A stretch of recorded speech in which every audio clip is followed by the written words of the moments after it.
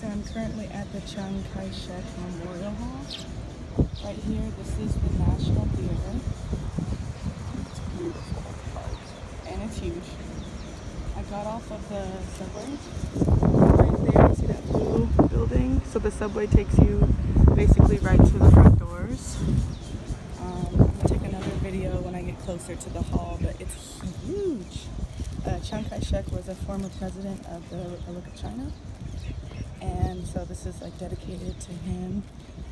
Um, but yeah so I'll take another video when I get closer but yeah. Super cool. Yes and this is me. Traveling alone. But oh I think that's it over there. That building. But yeah okay